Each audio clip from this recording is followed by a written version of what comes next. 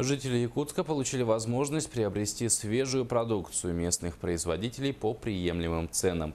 Сельскохозяйственная ярмарка выходного дня прошла в субботу в магазине «Саха Агропродукт». Это удобный случай, чтобы сравнить цены и качество.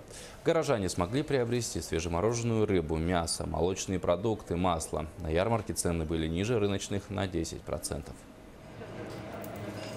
Сатана, куру. Продукция есть с разных районов. Стараемся привозить все свежее. Э, Несмотря на то, что сейчас трудности с переправой, но как бы мы стараемся все свежее привозить. И мясо, и молочку.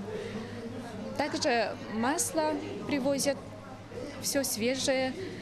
А, На выбор есть с разных районов. Покупатели могут прийти к нам попробовать.